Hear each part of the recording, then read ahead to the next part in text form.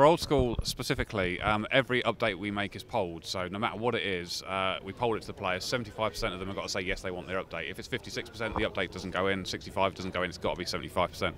And you know, it sounds like an incredibly harsh, difficult thing to get new content added to the game, but we've we've uh, we've polled at least 1,500 different uh, questions, and 95% of them are passing, have passed. So, you know, we're that in tune with our community. We know what they want. We're listening to them as we create the polls itself. So we're getting their ideas, putting it up to a poll, and saying, "This is what you've told us you want. Do you really want it?" And they're all saying yes. So it's it's incredibly validating for them because they feel safe that they're in control of the game. They're getting the game they want, and they're getting a say and, a, and an impact in the game, and that, that's what makes a real big difference to them.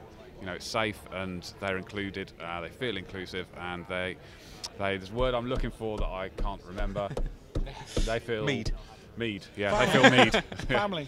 no, mead. But with RuneScape, with with RuneScape, we've um, taken a slight change of tack to um, put together a survey whereby they determine the 12 updates they most want for the year. So they're effectively constructing their year. I mean, um, we have a, generally a big update every month, so they're basically constructing. And so they're sitting there with what their team. It's like they've, they've got their fantasy football team ready, and they, they're going to look at what we announce later on today and go, yeah, that's the same as mine. I'm really chuffed with that. Or, you know, we are also doing a bit of theatre, dropping in some surprises. Like just now, we, we announced something called Bank Bidders that's taking influence from Storage Hunters and Storage Wars, where people can bid on old accounts. That's come from absolutely nowhere. You know, nobody knew about that, and that's just the little idea that one of us had.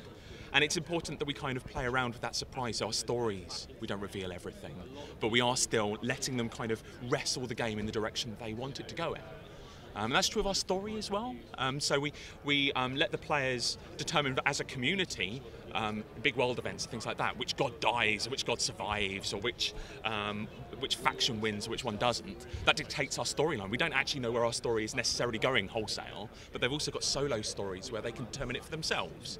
So there's all of this, you know, we're manoeuvring in behind the scenes as developers, just trying to accommodate all of these changes that are happening year on year. It's, it's really exciting.